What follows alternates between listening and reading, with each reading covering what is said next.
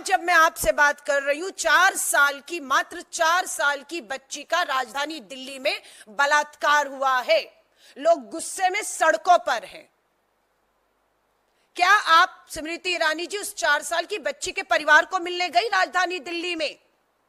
क्या आपकी महिला आयोग की राष्ट्रीय अध्यक्ष गई? क्या आपकी महिला मोर्चा की अध्यक्ष गई उस चार साल की बच्ची को मिलने के लिए? मेरी महिला कांग्रेस की दिल्ली की अध्यक्ष अपने पूरे महिलाओं के साथ आज उस परिवार से मिलने की कोशिश कर रही है। पुलिस मिलने नहीं दे रही है। हमारा मिलने का मकसद सिर्फ़ एक है परिवार को यह विश्वास दिलाना।